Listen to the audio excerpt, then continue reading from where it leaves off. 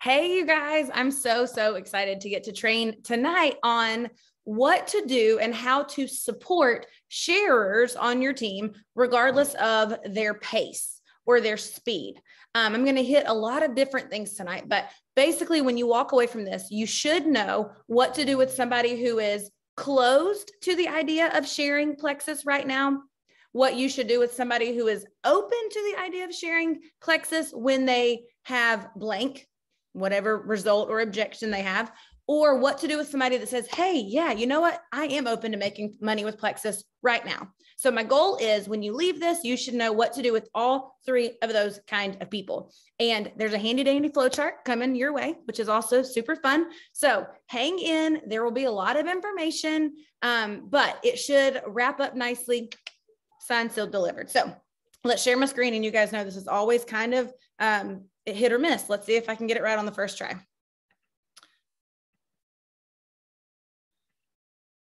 at me. I am just snazzy.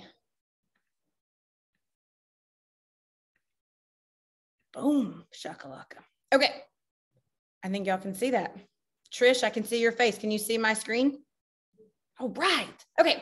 Here it is a system for supporting potential sharers at their pace. If you're like me, sometimes you do the scary thing of asking somebody, when you love your products, are you going to be telling people about them? You do that because I trained you a few weeks ago to ask every single person that question. As soon as you get them on the phone and enroll them and just edify their decision that they have made a wise choice to get started with Plexus, I tell everybody, say, hey, listen, when you love your products, are you going to be telling people about them? And what I found is the fear around that question usually comes from this idea of, but what do I do if they say yes?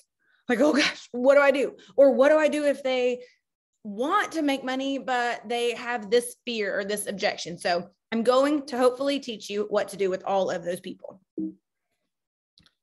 Okay, so but before we get there, I always think before you can teach somebody a skill set, you've got to really paint the picture for why they should care about the skill set, why it's important. And so, first of all, I want you to know um, who are leaders. Some of you are thinking this is really good for Christina. This is really good for Brittany or Krista because they're diamonds and they have this pixie dust on them and they can do all these hard things that make me feel really uncomfortable. And what I want you to know is every skill I'm going to teach you tonight still makes me uncomfortable. I promise, still makes me uncomfortable. I had to force myself, and I confess this to my Jewel sisters tonight. I had to force myself today to get on the phone with somebody that I just enrolled and follow this process because there was some fear around this person. She intimidated me. And so I still get uncomfortable too. The difference between, between me and someone who has not yet reached their goals is the number of times I've been willing to be uncomfortable, regardless of how I feel about it. The number of times I've been willing to trust the process, regardless of how uncomfortable or nervous it makes me. I'm just willing to do it scared, and I'm willing to be a disaster at it before I can become a master at it. So, the only thing that's going to keep you from mastering this skill set is practice. So you just got to be willing to be mediocre at it or to not get it right in order to move forward. So, who is a leader? Guys, listen, leaders are people who form the future. That can be you. It doesn't say anything about leaders are this rank or that rank. It just says leaders are people who form the future and they can paint highly visual pictures for those that they lead. It means that you're able to look at someone and, and determine not where they are, but where they could be and then articulate that to them. Okay, so what is vision? Well, first of all, I want you to know that I think that the, the vision has to have a foundation of reality. Okay, I learned that from John Maxwell. I was going to take credit for it, but decided that so many of you also love John and you probably would be able to know. So it's from John, but the foundation of vision has to come from reality. So it's a matter of looking at someone or yourself and saying, who am I currently? Where am I currently? What am I currently? And what are we as a team? If you if you're not casting vision based off of someone's reality, what you will lose is credibility. So what do I mean by that? I mean, Some people, you know, based off of who they are, where they are, what they've accomplished, all of you can look at someone's reality and say, hey, if they're willing to trust the process, this is where they can go very quickly. And there are some people that you can look at them and you say, you know what, they're going to have to learn some skill sets or invest in some relationships, grow their influence. And if they're willing to do that and trust the process, here's where they can get eventually. So, what he talks about, and we'll get there in just a second, is being able, before you create a vision statement where you think somebody could end up, be willing to get real um, comfortable with their reality and, and, and look at the future, look at cast their vision based off of where they are and where you think you can get them to. So I thought that was really relevant because sometimes we want to shy away from telling people that some things are hard. You want to make six figures and have time freedom, it's, it's difficult. You have to build that, it's work. And sometimes we want to rainbow and unicorn it up because we're afraid that if somehow we tell someone the truth, like for you to build this, you might have to get a little uncomfortable. You might face rejection. Sometimes we want to sugarcoat that and not tell them the truth. And the truth is, this is hard. Everybody faces rejection. Everybody has to get uncomfortable. Everything you want is just on the other side of that comfort zone. So you have to have, as the leader, the ability to see someone's reality and then paint a picture for them for where they can go. All right. So, why should you create energy for your vision? Well, first of all, the energy behind the vision is what's going to determine whether or not you're a leader. Anybody can take the action of casting vision, but only leaders can get people to buy in to their vision. You guys know what book that's from, right? 21 Laws, the law of buy in. As a leader, you've got to be able to get people to buy in to the vision that you have for them and for your team. So, how can you create energy? Right here, identify who you're talking to. Be real clear on who you want to build with. Sometimes my sweet little yellow friends, I'm sure Kristen's team's got a bunch of them. Sometimes we feel bad if we have to get real specific on who we're looking for. But guys, if you're looking for everyone, you're looking for no one. Think about it. If you wanted a foot specialist, you would go to a podiatrist. You would not go to a general doctor. Does it mean anything's wrong with general doctors? Absolutely not. But if you want something specific for your foot, you should probably go to the foot doctor. So the general doctor is going to be for every single person, every single thing. Are you going to get specific, deliberate, intentional care on what's the most problematic? Probably not. So just know when you're looking for who you want to build with, if you are trying to build with everyone, you might get a little bit of traction with some people. But if you want to grow financial freedom, then you're going to have to get real clear on the kinds of leaders you want to build with. And that might look different for everybody. And that's okay because anybody can do this. But listen, for me to build with somebody, I there are some things that I look for in them. And so in finding that, in knowing what I'm looking for, I can find common ground amongst us. It's why you tend to see me build with other athletes, people who are into fitness and, and health and wellness. We have common ground there. You see me build with teachers, common ground there. Build with moms a lot. We have a lot of common ground there. So find who you're talking to, identify who it is, and then find that common ground so that you can communicate. Um, breathe life into your vision. If you lack confidence in yourself and in your vision, how can you expect anybody to buy into it? John Maxwell said in the same podcast today, he has very rarely seen a super successful person who lacks confidence in their ability to figure things out. Doesn't mean that you have to be an overly confident person or that you can't struggle with belief in yourself. It just means that for the most part, successful people feel confident that they can figure things out. Given time, given resources, given chances, they can be successful. Speak positively and speak from your heart. When you're talking to these people, regardless of their pace, they have to know that they're a person. They have to know that they are a person. And then one of the best things I think that my leader does is she makes the intangible tangible.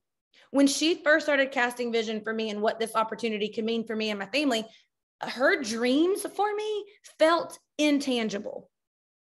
I mean, it sounded lovely. I'm not even, I mean, I was a working full time teacher, was in grad school, had just had our uh, third baby. So I had a nursing newborn. The idea of this extra money when we had spent so many years living paycheck to paycheck um, being comfortable with going further and further into debt when it came for holidays or vacations or whatever, the idea that there was another way was not really tangible for me until she painted a picture. And she did that by showing me other people like me who had done that. She said, Look, other people have done it, which means they, you just have to learn what they did and we can do this. And then she also masters the last one listen first and often. Be really careful to put your own assumptions around something. Be really careful to jump in and just make um, these false stories in your head. Really listen and ask clarifying questions and try to do that from a position of uh, being neutral, right? Not being emotionally attached to what they're saying. Okay, so I really love this. He said, You reveal your potential by where you focus. Your potential is revealed by what you are focusing on. Momentum is created by pointing to what's ahead, by seeing what is coming. I think about people with fitness goals. They're not motivated to not eat carbs and to work out five days a week right now. They're motivated because they know what is coming ahead. They've they've had vision casted for what's possible for their physique or their strength or their endurance or whatever. And that's what they're willing to sacrifice now for. Momentum is drained by looking behind at once at what one's at once bless. Momentum is drained by looking behind at what once was. See, it's a typo there. It's not just me. I can read. It just wasn't typed right. So the number the number one thing that you can do that's a momentum killer, killer, not killer, is to focus on what was once was. I'm never writing that sentence again. What once was. No matter how glorious or how tragic, the fastest way to drain your momentum for your team is to look backwards. Whether it was like, you guys all know people who do this. Think about the guy, grown man now, 45 years old. You know what he still talks about? That touchdown pass he threw in high school. Anybody know somebody like that? Like the, the highlight of his life was his touchdown in high school. Like, bro, for 30 years, you hadn't done anything that trumped that. Like, why not? Because he's looking back. So why build energy and momentum? Because you have to have that in order to cast vision, in order to create and propel change in your business. Also, let's go back to Hawaii. Okay. Oh, if you're focusing on yesterday, that was your best day. Man, I think that's so powerful because sometimes we um, we we spend a little too long celebrating a win. Anybody guilty? spend a little too long celebrating a win and we forget that in order to continue to win we've got to continue looking forward. So i'm going to get now into the do part. If you guys are like me you want to know okay well what do i do? All of that sounds great but what's next? Um, here are some things to expect as we move into this part. What are realistic expectations when dealing with people who have decided to join plexus expect objections expect them welcome them ask for them, get comfortable with them. The good news is when it comes to objections is there's only a few of them and they never change. I can think of three product objections that I get uh, for the most part repeatedly and mm, three-ish objections for the opportunity. And that's what we're going to talk about mostly tonight is uh, the opportunity. But expect them. You know what I think is more weird than someone having an objection to this business someone jumping in and thinking that they're going to be all in from the beginning. Don't ask me the questions. They're ready to rock and roll. I'm over here like, no, no, because listen, we are created skeptical. Like we are, that's just how our mind works. And so I expect people to have questions and objections. And so welcome them. Expect to have to overcome objections numerous times. So many times people will say, Well, I told her that once. I'm like, man, I'm so glad Brittany did not stop telling me things once. You guys know that she told me about my potential in this business for an entire year after I was on the products, a whole year. Many of you, when someone told you no to sharing, have never brought it up again. What would my life look like if Brittany had stopped casting vision for me after my first three ignores, my first four no's, my one time when I was like, I mean, I make more money than you, Britt. Like, and I said it nicely. And listen, I don't make more money than her now. Okay. So expect to have to overcome them and handle them numerous times. Uh, expect to have to invest in helping people build belief in themselves. If you're waiting to recruit somebody who just has all the natural confidence in the world and you think that will carry them from here to diamond, just know those people do not exist. They don't. I have never struggled with belief in myself ever. But you know what I did struggle with? Belief in the opportunity. So there's three things people have to have belief in products, opportunity, and themselves. You're not going to find someone who has belief in all three solid from the beginning and never needs any support. It just doesn't happen. So expect to invest in people to build that belief. Expect to have to counteract objections they're going to get. If you get somebody who's open to doing this and you send them out on their own, expect that they're going to get knocked down. They're going to trip over themselves. They're going to feel discouraged because we all do. The best thing you can do is normalize that. John Maxwell says one of the best things you can do as far as casting vision and supporting people is less hype, more reality, less at a girl. Like we're going to be diamonds all the way together. Let's go. And more reality. I'm like, girl, listen, as you're starting out, just know this is what most people run into. And I want to help you support you through that. So come to me with that. Like we can talk about it. It's totally okay. Anything you go through, I promise you, I've probably been through it too. So just know that this is an open door open communication policy. But guys, because objections to them feel like rejection. And it's going to take you as the leader to offer perspective on why it's not a rejection that's personal. Okay. Expect to have to lovingly hold people accountable to what they say that they want. You're going to have people, and you're going to see in a minute, I categorize them three ways spectators, walkers, and runners. You're going to have somebody who says they want to be one, but then behave more like another. And so it doesn't, it, it's not about shaming them or making them feel bad. It's just about a matter of saying, hey, listen, I know that you said you wanted to be a varsity swimmer. And here's like, here's what that looks like to be a varsity swimmer. And I noticed instead that you're more so like going at a rec swimmer space. Like, is that, is that kind of more what you want to, what you want to do? Just asking questions. I don't know why I picked a swimmer. I don't even know if there are varsity swimmers, but just be willing to hold people accountable to what they say they want by asking questions that are them focused. They cannot feel like you are expecting or worse, needing them to do what you want them to do. That builds bitterness and um, it's just not a good look. It's just not a good look. Be okay with the fact that some people, when they realize that this requires work, may decide it's not for them. That's okay. You know what? I decided it wasn't for me. Law school. Does it mean law school's bad? No, it does not. It's just not for me. This may not be everyone's cup of tea. And the best thing you can do is lovingly support them um, and, and, and be honest. Remember, less hype, more honesty. Less hype, more honesty. Set realistic expectations for what it will take to get their desired results. And if what it will take feels like too much to them, help them alter what they can do and then give realistic expectations for what they can expect there. People don't mind the hard work or having to wait for the gratification as long as they know it's coming. So be realistic. Okay. And then the speed out of the gate does not indicate someone's long term success. I've seen it a million times. I'm sure Britt has, Krista has. See people who come out of the gate and they fly, and you think, oh man, must be nice to be them. They're going to be diamond in no time. And then they hit a wall. They don't participate in growth and they sputter out. I've seen people who come out of the pace, out of the gate crawling. I mean, crawling. And you're like, man, are they ever going to do anything? And then you know what happens? They grow and they learn and they connect and they're coachable and they are the ones that have long-term sustained business. So I've seen it both ways. I've seen people who have flown, who have grown and who have kept flying.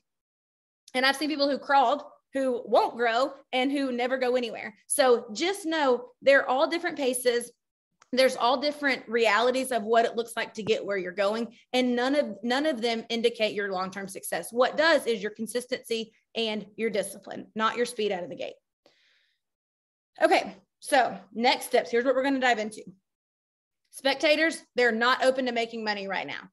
Those are the ones that on the call, like they're real cold. You can tell, okay, terrible idea. Like clearly not for her right now, whatever. For the record, I don't really believe everyone anyone's ever not open. I've only ever had one person tell me that she needs nothing that Plexus has to offer because she has millions of dollars in her bank account. And then she sent me a screenshot of it. Um, other than that, I have, I don't believe that. I believe that people have such big limiting beliefs that they can't see potential yet. But I, I mean, anyway, so spectators, they're not open currently. Walkers, probably, but I need my own results first. Or probably, but I'm not a salesperson. Or probably, whatever, fill in the blank. And then runners who say, yeah, actually, I have thought about doing something like this, or I am open to making that 400 and something dollars, or, you know, yeah, actually, so and so has already come to mind that I thought might need these products. So, three different people. This is where we're going to go. Everybody ready? Here we go. Okay. Spectators. And listen, this builds upon. So, we're going to start with spectators. Whatever we do with spectators, you'll do that plus the next thing with walkers. And then for runners, you'll do spectators, walkers, and then runners. Can we all agree with that? Kind of like when you learn how to run, you don't stop crawling or walking, like you just build upon it. So, spectators, start them on the retention system, plug them into a system to help them love their products. You are one product lover away from a new business builder. Even someone who's not open at all, when they love their products, you guys, it is impossible for them not to share. So start them on a retention system day one. And if you have new level twos joining your team, connect with your level one and make sure they know how to use the retention system. They've seen the retention system modeled for them if you're following it. If you're not following it, then you're creating double work because now you have to go teach your level one a system that they never got to see. So it's not unovercomable, but just start today. If you're not using a retention system, use it. Freedom Team, you guys know where it's at. It's under the customer care in our team page. So utilize it and make sure your team is utilizing it. It's not okay for you to be the only one utilizing it. Ask questions, make sure your team is. And then build a relationship with them. For somebody who's not open to making money, they need to feel connected with. And so that looks like connecting about things outside of Plexus. Ask them what they have planned for the holidays.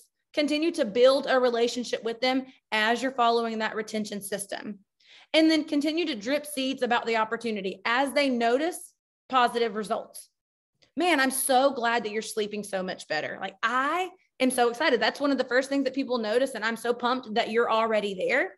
Hey, listen, I, I, I know that you said you weren't open to this, but do you know there are people in your life who are literally praying for relief from that very thing?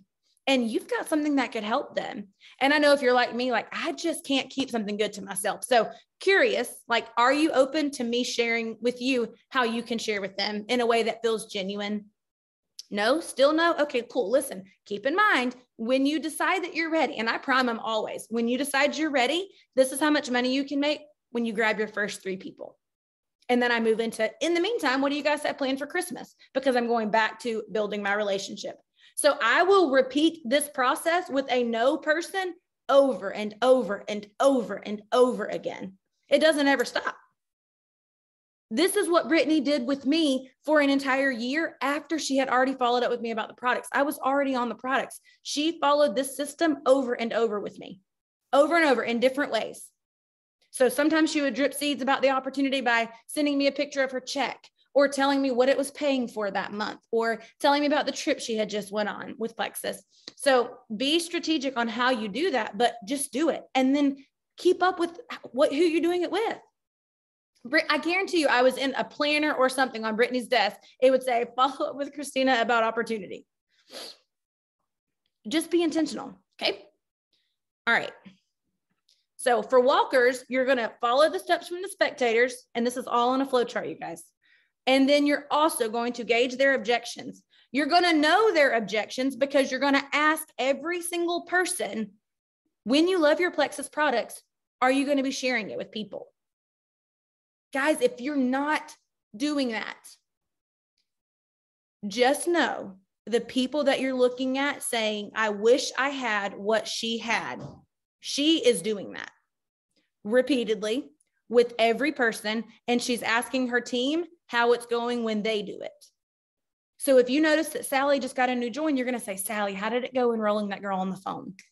Oh, awesome. I love that. So what was her answer to the question? We call it the question. My people know what it is. So remember, it's your job to taproot and help your team. If they're not asking the question, let's talk about it. Tell me why you're not asking that. It's generally fear. Okay. But we gauge their objections, and then we're going to use third party resources of someone else with the, the same objection being successful at it.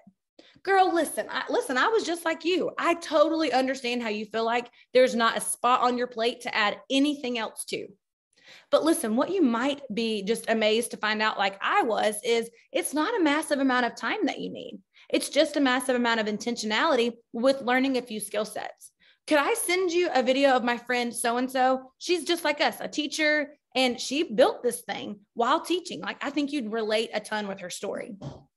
So I'm going to build her belief in her ability by specifically talking to her objections or her hurdles. Okay. I'm going to add them to the team page, obviously. Spectators, same thing. I'm going to invite them to participate in upcoming events. I'm going to invite them to a vision casting call. We have those once a month. Um, you could also just do a small vision casting call. If you have a leg on your team, and they've added five people just do a private vision casting call where you jump on and and just share share with people what's possible i'll invite them to product events and you guys say well why would you invite a product user to a product event guys you know what keeps a lot of people from sharing a lack of belief in the products. They're waiting for their own results because that what they're saying is I don't know yet if I believe enough to put myself out there. So the more stories they can hear, the more testimonies they can be a part of, the higher their belief is built. And when someone's belief is high, when they hear for the third time that it's helped somebody with their mama's same health problem, then you know what they're going to do? They're going to share with their mama finally. So that third party validation is so, so important. And then again, when they start to love something about their products, follow up with them. Follow up with them. And like I, said, just continue to ask that question like, hey, listen, I know that you were open to making that $400 when you got your own products. Now that you've gotten your products and you realize how simple it is to fit it into your routine, have you given any more thought to other people who might also be open to trying this? So you see how that has nothing to do with results. Now that you've got your products, it comes in a nice little fancy box. It's so nice. Now that you see how simple it is to fit in, now that you see that it's not really scary, it's, real simple. Have you thought any more about sharing? So just being willing to continue to ask the questions. Okay. And now, this is what I was the most shocked to find was that more people were struggling with what to say when someone said yes than anything else. This blew my mind. And I realized it was a leadership gap that I had had. So let's say you have somebody that says, Yes, I'm open to sharing. This has actually happened to me three times this week. Um, people enroll and they're yes. And I find myself going, Okay, well, what do I do next? Right. So here's what you do you follow the steps from the spectators and the walkers. And then I'm just connecting. I'm on the phone. I'm saying, girl, listen, tell me how much money like would be a blessing for you and your family this month. And I'm thinking to myself, I don't ask this next question, but I'm thinking based off of their answer, okay, are they thinking kind of small right now? Like they just want to cover the cost of their products or like, are they talking about, man, I'd love to cover a car payment? One of the answers I got this week was, I'd really love some support with Christmas. Like, I want to be able to have a nice Christmas and we don't really have extra. And so some extra at Christmas would be great. And you know what I did? I asked what she'd buy with it. Like, oh, okay. What would you buy? what's on the list of your babies that if you if you do this, if you go silver or if you go senior silver, like what is it on the list that you could buy? And how would you feel to get to buy that? Like for that to be wrapped under the tree, not on a credit card, how would you feel? Guys, that is casting vision, painting a picture of what it would look like for someone to do that. And then here's the kicker no matter what they say, whether they're thinking real small right now or really, really big, you just say, girl, listen, Plexus absolutely can do that. And whether you make what they're dreaming yet or not is irrelevant because you know people who do. You guys have access to Brittany and I. You know us. You know that we are people who have just learned the skills and practice over and over and over again. So you can tell somebody in confidence, girl, that is possible here. And that is actually just the beginning of what is possible here.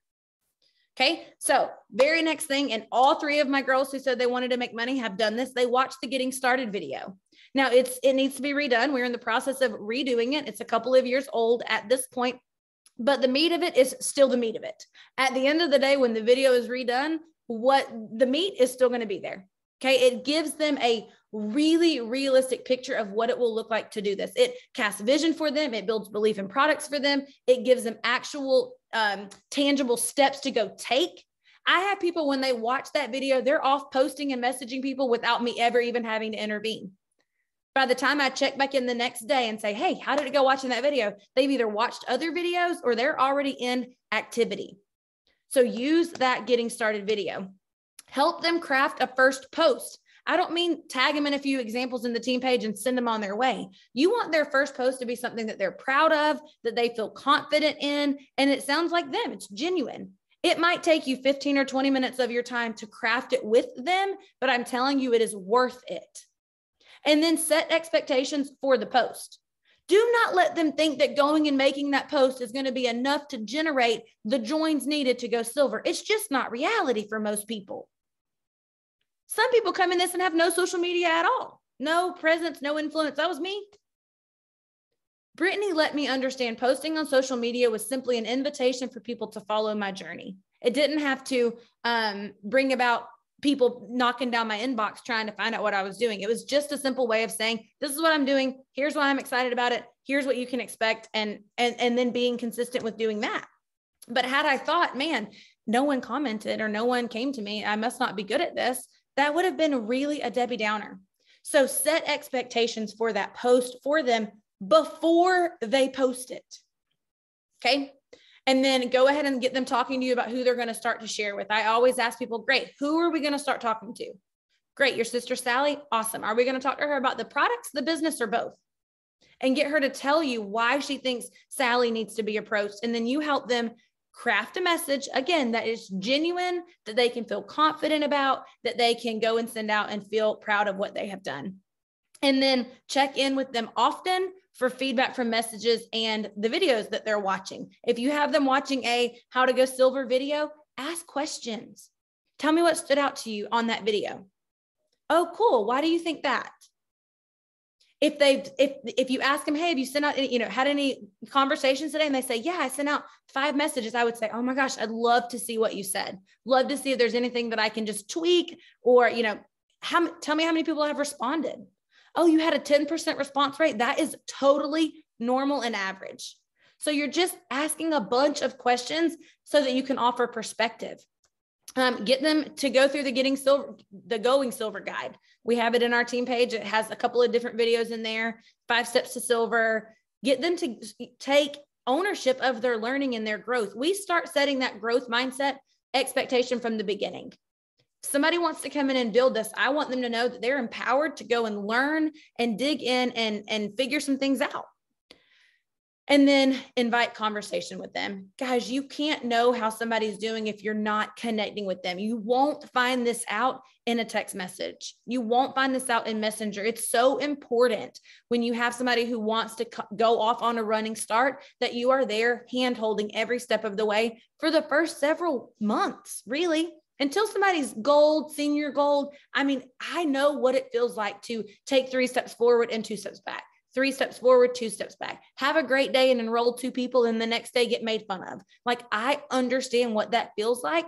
And for a new person, what's going to help propel them over that hurdle is going to be somebody coming alongside of them and grabbing their hand and jumping the hurdle with them. And that's your responsibility. If you want to empower someone to be successful here, you've got to be willing to get dirty in the trenches with them. You just have to be. Okay, as for screenshots, I already said that. Um, remember, don't feel guilty about asking to be involved. They want to be successful. They picked you for a reason. They want to be successful here. And so you have a responsibility. Think about it this way if I were a doctor and I were in know, surgery school, the doctor wouldn't just watch me operate afraid to ask any questions. The supervising surgeon would have a lot of questions. And when needed, he would get his hands in that body cavity with me. It doesn't mean that I'm not good, it means I'm learning. And as a learning surgeon, I'm real grateful for his expert hands in that body cavity with me when things feel a little bit sketchy. So have confidence in your ability to support. And then, guys, this is so important. I don't care if you have 75 runners come out of the gate this month. Your job is to duplicate and recruit both every month. You cannot say, well, I'm focused on helping my team this month. That's why I, I didn't recruit. Mm-mm. That's called management. In management mode will crush you. You want to create leaders and also be recruiting. Got to do both every single month until you are a stable, happy, secure diamond. Then you don't have an option. If you want to be successful here, you have to recruit and you have to duplicate. That's just the bottom line. Remember when I said less hype, more honesty? There's your honesty. You have to. If you're unwilling to learn the skills to do that, then your, your success here will be limited. Good news is it's a skill set that anybody can learn if you're hungry enough to grow and change. Okay, you don't know how someone is doing until you reach out and ask. I already said this. Invite conversation with them, be on the phone with them every couple of days, ask screenshots, offer constructive feedback. Okay, so this was the first flow chart that I gave you. We're not going to spend a lot of time here. I'm just going to remind you um, of what we talked about before. Step one, make a personal connection. This is on the phone. If it's a total stranger, if it's your best friend, if it's your mama, I don't care. This is on the phone. Ask some questions, validate that they're going to love their products, and then you ask the question If you loved these products, would you be telling people about them? Here are the three categories not open, probably, but, or yes, I would love to make money. You see here, step three is how I handle the most common objections. So I, I have this for you. I will give it to you if you don't have it, but we're going to get into the next one because we're short on time. So here are next steps. Once you followed that flow chart to completion, then here are your next steps. It's a little bit fuzzy for some reason. Um, okay, this is what we just talked about, but this is consolidated, nice and pretty in one paper. It's literally the same thing. So we're not going to read it, but I want you to know when you print this out, front and back, front, back, front, back. Okay. Guys, and then this is to, to really drive the nail home. The future is the time where you will wish you had done what you're refusing to do now. The future, it's the time where you will wish you had done what you're refusing to do now. There are some of you who are refusing to ask the question. You're nervous, you're intimidated. We laugh it off and say, next time we will. But guys, you know what is really scary? The future comes much faster than most of us realize. And if you want your future to, to look different than your present, then what you're doing presently must change. So just decide I'm going to do that hard thing. I'm going to, for me, the hard thing was being on the phone. I really felt so maxed with my time when I first started this that when Brittany kept telling me, gotta get on the phone and connect, Christina, you gotta get on the phone and connect, Christina. I'm like, I don't know when to do that. And she's like, listen, if you want this bad enough, here's what it's to take. And so I got real creative, y'all. I would do calls in the car on the way to school at 7:15 in the morning with other moms who were also headed to school. I just got super creative because when you want something bad enough, you will find a way. If you don't, you will find an excuse. And I'm here to tell you that somebody somewhere with your exact same excuse has overcome it. So it's just a matter of if you will. It's a matter of if you will. There's a system. There you have it. That's what I have for you guys. I hope it is helpful. Let me